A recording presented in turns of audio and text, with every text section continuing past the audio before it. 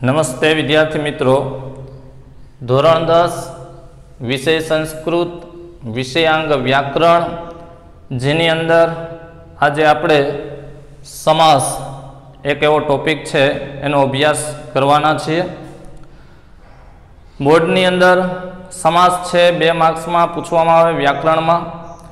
જેમની અંદર એક સામાસિક પદ આપેલું હોય અને આપણે તેનો પ્રકાર છે ઓળખાવાનો થાય.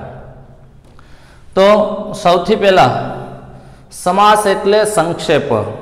ટૂંકું કે કોઈ એક બે શબ્દ આપેલા હોય, બે પદ આપેલા હોય, તેને ટૂંકમાં રજૂ કરવાની જે વિશિષ્ટતા છે તેને સમાસ કહેવાય. જોઈએ એની ખાલી પારિભાષા જોઈએ તો સમાસ સંસ્કૃત ભાષાની આગવી વિશેષતા છે. એક વાક્યમાં કહી શકાય એવી બાબત એકાદ સામાસિક શબ્દ દ્વારા વ્યક્ત કરી શકાય છે. દાખલા તરીકે એક લાંબુ વાક્ય હોય, પરંતુ જે વાક્યનો અર્થ છે, એને એક સામાસિક શબ્દમાં આપણે વ્યક્ત કરવું હોય, તો કરી શકાય. આવા પ્રકારની જે વ્યાકરણની રચના છે, એને સમાસ કહેવામાં આવે છે. હવે શા માટેની રચના કરવામાં આવે? તો કે સંસ્કૃત ભાષામાં સમાસથી લાઘવ અને સચોટતા આવે છે. પરફેક્ટ આપને એક શબ્દનો અર્થ છે, એની સચોટતા છે, એ જોવા મળે છે. આવા પ્રકારની જે રચના છે, તેને સમાસ કહેવામાં આવે છે. સમાસને આપણે શબ્દથી જ સમજીએ, તો સમ પ્લસ આસ, એનો અર્થ જોઈએ, તો સમાસમાં મુખ્યત્વે બે શબ્દો છે.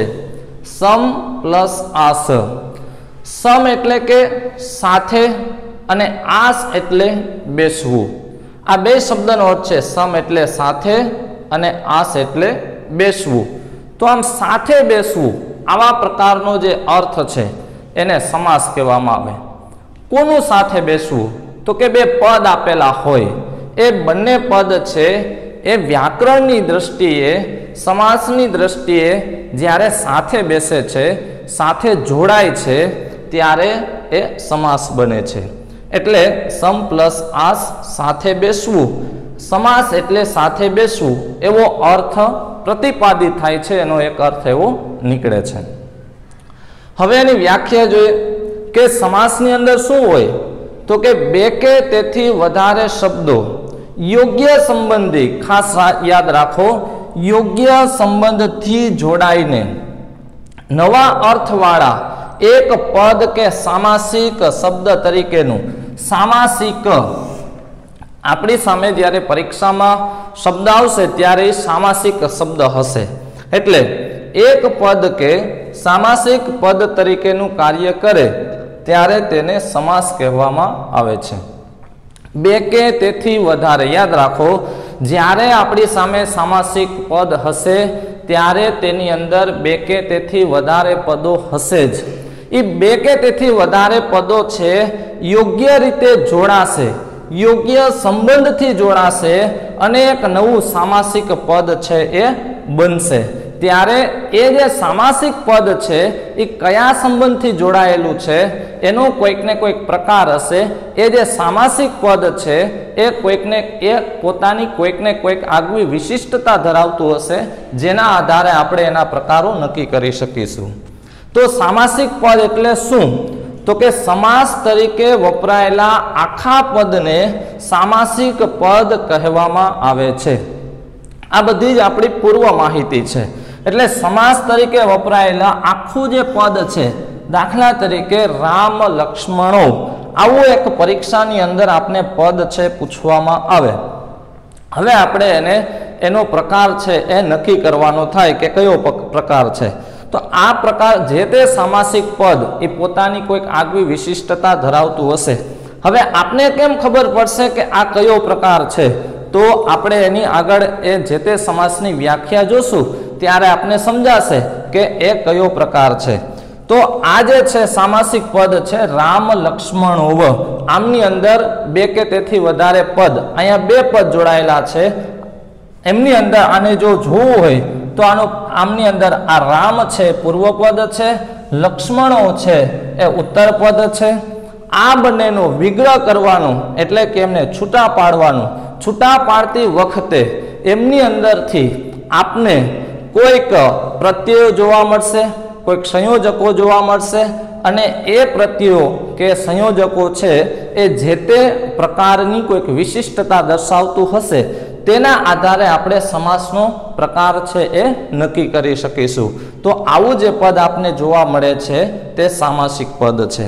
હવે જે સામાસિક પદની અંદર કોઈક છે પૂર્વપદ પ્રધાન છે, કોઈક ઉત્તર પદ પ્રધાન છે, કોઈક ઉભય પદ કે સર્વપદ પ્રધાન છે. તો એમની માહિતી મેળવીએ તો પૂર્વપદ પ્રધાન એટલે કે જે સમાસનું પ્રથમ પદ પ્રધાન અથવા મુખ્ય હોય તે સમાસને પૂર્વપદ પ્રધાન કહેવામાં આવે છે. દાખલા તરીકે અવ્યય ભાવ સમાસ આપણે જોશું તો એ છે, એ પૂર્વપદ પ્રધાન છે.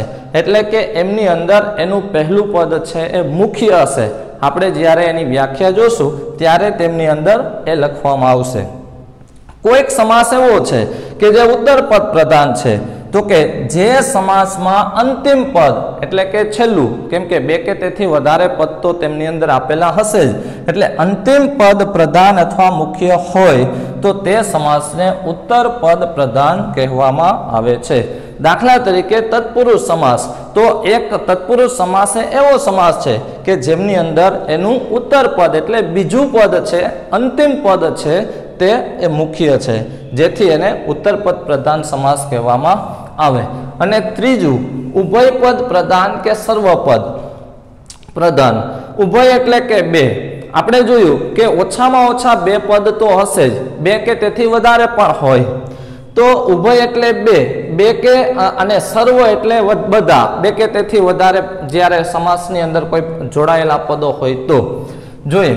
જે સમાસમાં બે પદ હોય અને તે બંને પદ પ્રધાન એટલે કે મુખ્ય હોય, તો એ ઉભય પદ પ્રધાન છે. અને જે સમાસમાં બેથી વધારે પદ હોય અને તે બધા પદો પ્રધાન એટલે મુખ્ય હોય, સ્વતંત્ર હોય, એકબીજા ઉપર છે એ આધારિત ન હોય, પોતે પોતાના ઉપર જ સ્વતંત્રતા ધરાવતા હોય. તો આવો જે પ્રકારનો સમાસ છે તે સર્વપદ પ્રધાન સમાસ કહેવામાં આવે. દાખલા તરીકે જોઈએ એમની અંદર તો દ્વંદ્વ સમાસ. તો દ્વંદ્વ સમાસ છે તે ઉભયપદ પ્રધાન કે સર્વપદ પ્રધાન સમાસ છે. અત્યાર સુધી, અહીંયા સુધી આપણે જે જોયું તે આપણે સમાસની પૂર્વ માહિતી જોઈ. આપણે સમાસના પ્રકાર ભણીએ. એમની પહેલાં આપને એમની પૂર્વ માહિતી ખબર હોવી જોઈએ કે એનો અર્થ શું છે, તેની વ્યાખ્યા શું છે, તેમની અંદર પૂર્વપદ કયું છે ઉત્તરપદ કયું છે, બંને પદ વચ્ચે કોઈક ને કોઈક સંયોજકો આવે છે.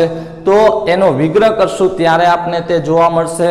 એટલે વિગ્રહ કોને કહેવાય? તેમની અંદર કોઈક પૂર્વપદ પ્રધાન છે, કોઈક ઉત્તર પદ પ્રધાન છે, કોઈક બંને પદ અથવા તો સર્વપદ પ્રધાન સમાસ છે. આ છે એ પરીક્ષામાં આ કાંઈ નહીં પૂછાય અત્યારે. હવે જે પૂછાવાનું છે તે અહીંથી આપણે શરૂ થાય છે. પરંતુ આપને તેની પૂર્વ માહિતી બધી ખબર હોવી જોઈએ. તો હવે જોઈએ સમાસના પ્રકારો. તો સમાસના પ્રકારોની અંદર સૌથી પહેલો પ્રકાર જોઈએ દ્વંદ્વ સમાસ. હવે આપણી સામે જ્યારે સામાસિક પદ આવશે, આપણે આગળ જોઈ ગયા કે સામાસિક પદ એટલે શું? તો કે સમાસ તરીકે વપરાયેલું જે આખું પદ છે, તેને સામાસિક પદ કહેવામાં આવે. તો હવે દ્વંદ્વ સમાસ એ પોતાની, આપણે હમણાં વાત કરી કે દરેક સમાસ છે એ પોતાની કોઈક ને કોઈક આગવી લાક્ષણિકતા ધરાવે છે. હવે સામાસિક પદ આપણી સામે જ્યારે આવશે, ત્યારે, મિત્રો, આપને કેમ ખબર પડશે કે દ્વંદ્વ સમાસ છે? તો હવે એ જે તે સમાસની કોઈક વ્યાખ્યાઓ છે એને આપણે જોઈએ અને એ યાદ રાખવાની. તો અને માત્ર તો જ આપણે સમાસના પ્રકારો છે ઓળખાવી શકીશું કે દરેક સમાસની આગવી લાક્ષણિકતાઓ આપણે યાદ રાખવી પડશે. જોઈએ. દ્વંદ્વ સમાસ. તો એ પોતાની લાક્ષણિકતા ધરાવે છે, એનો અર્થ છે ચારથે દ્વંદ્વ. એટલે કે ચના અર્થમાં દ્વંદ્વ. એટલે જ્યારે આપણે સામાસિક પદ જે આપણી સામે છે, એનો વિગ્રહ કરીએ, આપણે વિગ્રહ લખવાનો નથી, પણ મનોમન નક્કી કરવાનું છે કે આને આવી રીતે છૂટું પાડી શકાય. એટલે ચા અર્થે દ્વંદ્વ, હ, ચ, ચના અર્થમાં દ્વંદ્વ, ચ એટલે અને. એનું ગુજરાતી જોઈએ તો ચ એટલે અને. અનેના અર્થમાં દ્વંદ્વ સમાસ બને છે અને એટલે જોડકું. તો અહીંયા સામાસિક પદની અંદર બે કે તેથી એવા પદો હશે કે જેની અંદર જોડકાના સ્વરૂપમાં જોડાયેલા હશે અને એ દરેક આ એની એક વિશિષ્ટતા છે. આ સમાસનું દરેક પદ સ્વતંત્ર અને સરખું મહત્વ ધરાવે છે. એટલે કે એમની અંદર બેન બંને પદને જ્યારે આપણે છૂટા પાડશું ત્યારે તેમની અંદર તે સ્વતંત્ર અને સરખું મહત્વ ધરાવતા હશે. પ્રથમા વિભક્તિ મૂકી અને ચથી જોડવામાં આવે છે. આ સમાસનું જ્યારે આપણે વિગ્રહ કરીએ, ત્યારે વિગ્રહ કરતી વખતે તેમની અંદર પ્રથમા વિભક્તિ મૂકી અને ચથી એને આપણે જોડીએ છીએ. કેમ કે આપણે એની વ્યાખ્યા જોઈએ ચાર થે દ્વંદ્વ એટલે કે ચના અર્થમાં દ્વંદ્વ હ. તો ચ જ્યારે એમની વચ્ચે આવે, ત્યારે તે દ્વંદ્વ સમાસ છે એ થશે. હવે દ્વંદ્વ સમાસ છે. દ્વંદ્વ સમાસના ત્રણ એવા પેટા પ્રકાર છે પાડવામાં આવેલા છે. તો એમની અંદર જોઈએ, એ અંતે તો એ દ્વંદ્વ સમાસ જ છે. પરંતુ એના પેટા પ્રકારો છે, એમાં કંઈક ને કંઈક થોડું ઘણું એ એમની અંદર જુદાપણું જોવા મળે છે. સૂક્ષ્મ કોઈક ને કોઈક તફાવતો જોવા મળે છે. જેના આધારે તે દ્વંદ્વ સમાસના પેટા પ્રકારો આપણે જોશું. તો દ્વંદ્વ સમાસના પેટા પ્રકારની અંદર જોઈએ, તો એનો પહેલો પેટા પ્રકાર છે ઇતરેતર દ્વંદ્વ સમાસ. આમાં શું હોય? તો કે આ સમાસમાં જુદા જુદા બે કે તેથી વધારે પદો આવેલા હોય છે. આ સમાસનું દરેક પદ એકબીજાથી સ્વતંત્ર હોય છે. જુદા જુદા પદો હશે, એકબીજાથી સ્વતંત્ર હશે, પરંતુ તે સામાસિક રીતે છે જોડાયેલું હશે અને એનો જ્યારે વિગ્રહ કરશું ત્યારે તો આપને એમની અંદર ચ જોવા મળશે.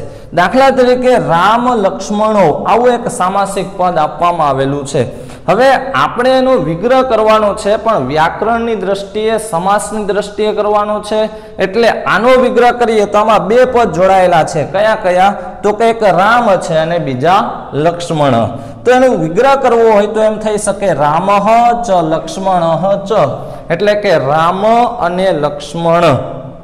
તો અહીંયા બે પદ જોવા મળ્યા. ચ છે એ આપને વચ્ચે જોવા મળ્યો. હવે આ દ્વંદ્વ સમાસ છે કેના આધારે આપણે કહી શકીએ? તો કે અહીંયા જે છે એ ચ આપવામાં આવેલું છે એટલે. કારણ કે દ્વંદ્વ સમાસની લાક્ષણિકતા છે તે એમની વચ્ચે જ્યારે વિગ્રહ કરશું, ત્યારે ચ જોવા મળશે. આપણે પરીક્ષાની અંદર વિગ્રહ કરી આવું લખવાનું નથી. માત્ર આપણી સામે છે, આવું એક સામાસિક પદ હશે અને સીધે સીધું આપણે એનો કયો પ્રકાર છે તે ઓળખાવાનો થશે. બીજું ઉદાહરણ જોઈએ તો લેખીની પુસ્તકે, એટલે કે લેખીની ચ પુસ્તકમાં, તો આ જે છે અહીંયા ઇતરેતર એટલે જુદા જુદા પદો છે અને એક સામાસ, એ જોડાય અને એક સામાસિક પદ છે, બનેલું છે. એટલે આને આપણે પરફેક્ટ ઓળખાવું હોય તો કહી શકાય કે ઇતરેતર દ્વંદ્વ સમાસ. બીજો એનો પેટા પ્રકાર જોઈએ. સમાહાર દ્વંદ્વ સમાસ. આમાં શું હોય? તો કે આ સમાસના સમસ્ત પદોનો સામૂહિક અર્થ રહેલો હોય છે. જ્યારે આપણી સામે સામાસિક સ્વરૂપની અંદર આવશે, ત્યારે તેમની અંદર એક સામૂહિક અર્થની અંદર જોવા મળશે. અને બીજું કે મોટે ભાગે આ સામાસિક પદ જ્યારે આપણી સામે હશે, ત્યારે તેની અંદર કેવા શબ્દો હશે? તો કે આ સમાસમાં શરીરના અવયવો, ક્ષુદ્ર જીવડા, પ્રાણીઓ, નદીવાચક, દેશવાચક વગેરે નામોનો સમાવેશ છે એમની અંદર કરવામાં આવેલો હોય. આવા જ્યારે આપણી સામે શબ્દો હશે, ત્યારે તે સમાહાર દ્વંદ્વ સમાસ હશે એટલે કે એનો એક સામૂહિક અર્થ થતો હશે. અંતે તો એ પણ દ્વંદ્વ સમાસ જ છે. એમનો પણ એ ચારથી દ્વંદ્વ એ જ એની વ્યાખ્યા છે. પરંતુ એનો જે સામાસિક પદ છે, તે સામાસિક પદ એક સામૂહિક અર્થ ધરાવતો હશે. આ એની એક સૂક્ષ્મ લાક્ષણિકતા છે. દાખલા તરીકે જોઈએ તો હસ્તપાદમ, એટલે કે હસ્તો ચ ચ, હાથ પગ. તો હાથ અને પગ શરીરના અવયવો છે. ગંગા યમુનમ, ગંગા અને યમુના. તો નદીવાચક નામ છે.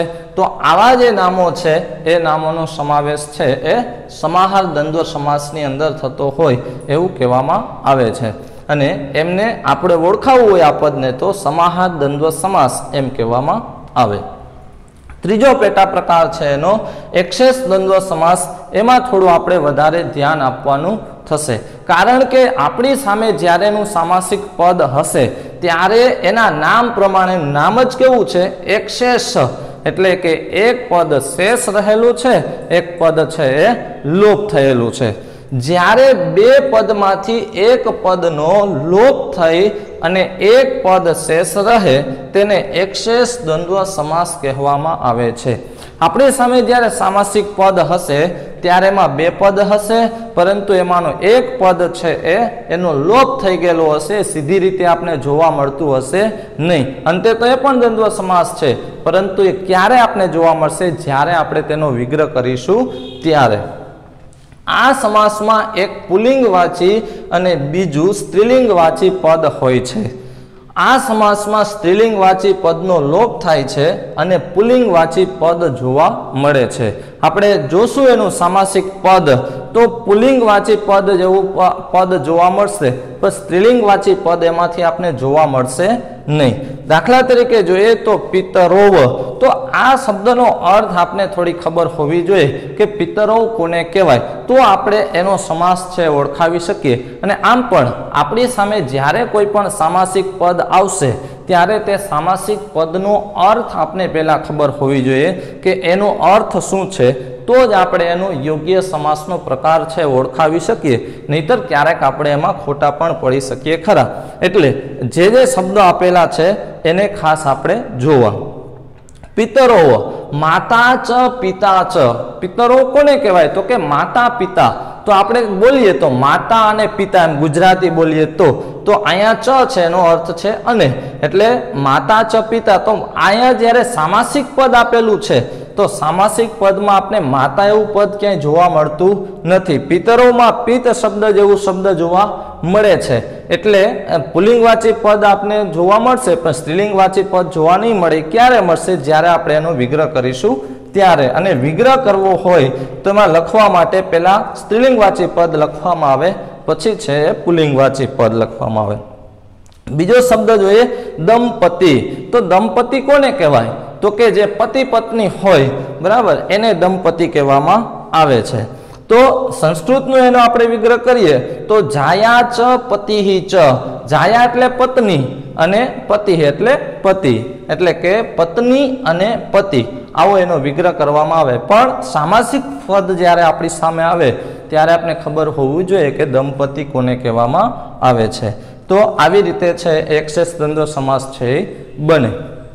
તો અહીંયા આપણે અત્યાર સુધી આપણે દ્વંદ્વ સમાસના ત્રણ પેટા પ્રકાર જોયા.